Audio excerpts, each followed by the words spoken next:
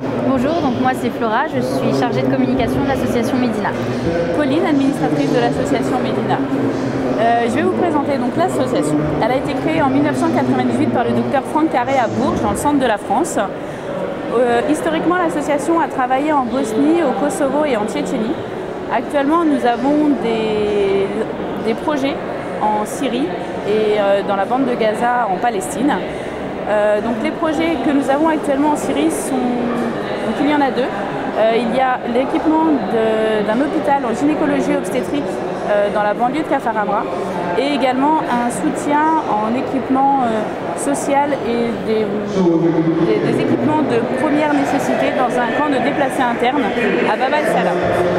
Et Flora va vous présenter les, Donc en Palestine, nous avons ouvert euh, trois maisons d'accueil pour enfants, donc une à Bentanoun, une à Jabalia et la troisième à Tel al-Zata. Donc euh, là, ces projets sont encore en cours. Le deuxième projet que nous avons, c'est une équipe euh, mobile de soutien psychologique. Donc là, c'est une caravane qui va venir voir les populations isolées et pareil, venir faire du soutien psychologique pour les enfants et familles.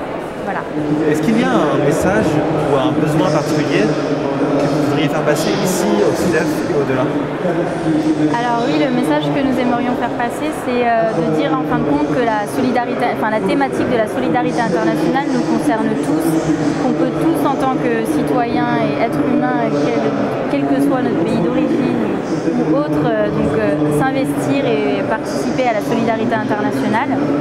Donc au niveau de nos besoins, on a des, besoins tout d'abord humains, euh, financiers et matériels. Donc pour ce qui est des besoins humains, bien sûr l'association Médina euh, accueille chaleureusement et cherche toujours des bénévoles, bien entendu.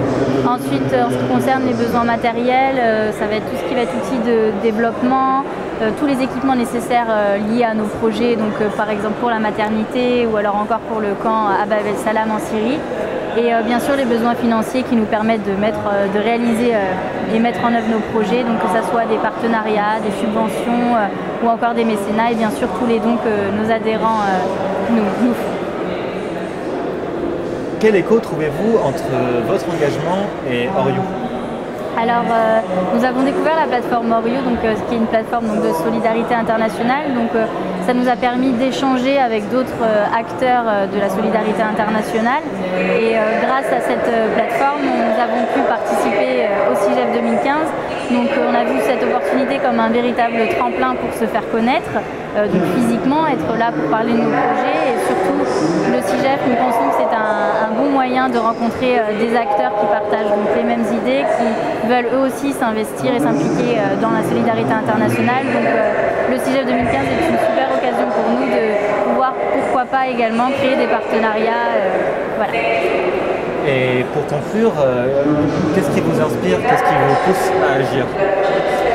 Aujourd'hui, ce qui nous pousse à agir, c'est qu'on s'aperçoit qu'il y a des peuples qui sont obligés de, quitter leur pays pour pouvoir vivre dans des conditions euh, Et aujourd'hui, c'est pour ça qu'on intervient auprès de, ces, ces personnes-là. Donc voilà, pour nous, la, solidarité internationale, comme l'a dit Flora, c'est une affaire de tous. C'est une aventure humaine qui est absolument extraordinaire. Euh, voilà, donc euh, on pousse les gens à s'investir dans la solidarité internationale et euh, on y croit et on voilà, tout simplement. Merci. Merci, merci à vous.